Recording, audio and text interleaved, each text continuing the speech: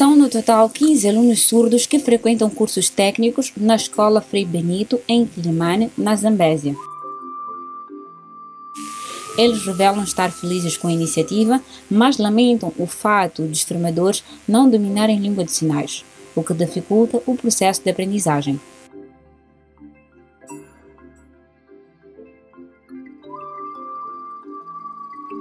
Nas aulas, nós não entendemos tudo o que eles explicam, porque não usam a língua de sinais. Estou sozinha na turma a aprender, mas falta um intérprete. Os formadores reconhecem que o fraco domínio da língua de sinais dificulta o processo de ensino. A este problema acrescenta a escassez de tempo para trabalhar com turmas inclusivas.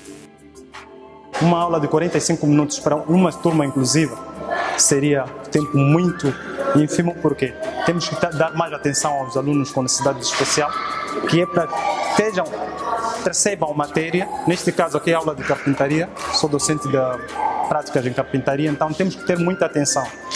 A maior parte de máquinas fazem barulho eles podem até não perceber que a máquina está em funcionamento. Então, o docente deve dar muito acompanhamento, que é para evitar acidentes. Exige muito, muito esforço por parte dos professores, assim como também por parte de toda a comunidade escolar.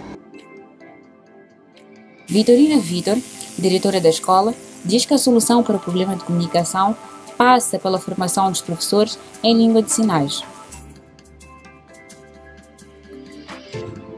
Precisamos que apareça uma oportunidade para entrarmos outra vez nesta capacitação, beneficiarmos dessa capacitação em termos de língua de sinais. Porque, porque é para atualizarmos os professores. Mesmo assim, os professores apelam aos pais encarregados de educação a não privarem os seus educandos. Não deixem a criança que fique só em casa. Pelo menos aprenda aqui, é um, é um ofício. Há de aprender pelo menos a pregar qualquer coisa. Por exemplo, lá no fundo temos alunos que já estão a aprender a fazer sofás.